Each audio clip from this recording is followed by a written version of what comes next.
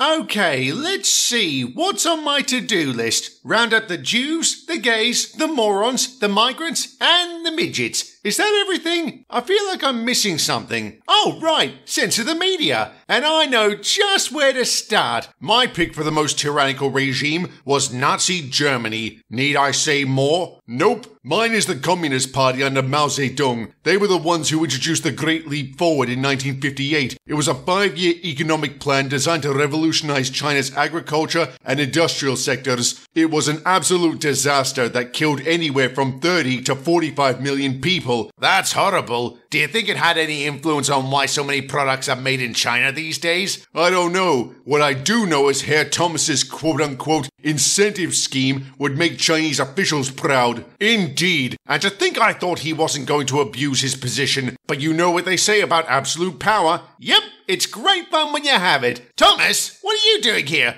I'm shutting you down. What? You heard me. I'm shutting down your podcast. Is this because we've been criticizing you? What's the matter, mein Fuhrer? Can't take a little heat? Mate, I'm a steam engine. I'm used to heat. But listening to you three prattle on about nothing has been painful and annoying. Good luck trying to kick us out. We're not going anywhere. Oh, yeah? Chuck, awaiting your command, mein Commandant. Why are these guys always German? All right, Thomas, you win. We'll go. Good choice. And don't worry, I'll be replacing your podcast with something worthwhile. What? You'll see.